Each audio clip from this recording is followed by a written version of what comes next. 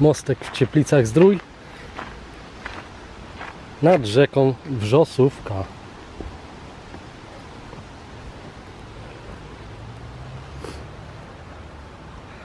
Ciekawe, czy domyślicie się, czemu ten potok stał się atrakcją?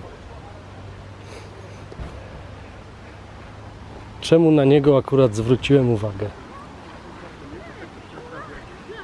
Odpowiedź za chwilę.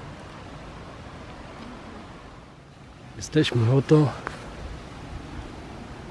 w Cieplicach Zdrój.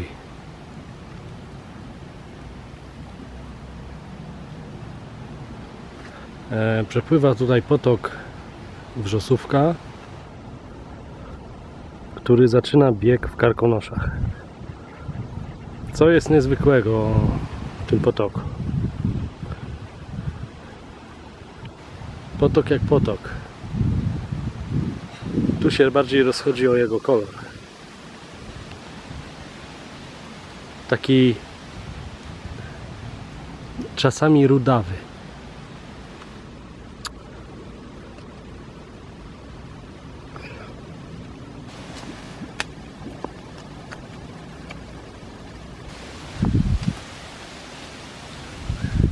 Kolor ten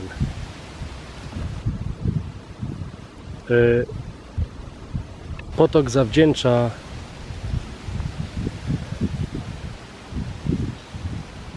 minerałom i skałom, przez które przepływa. Rudy żelaza, inne i inne. Dzięki temu zmienia kolor.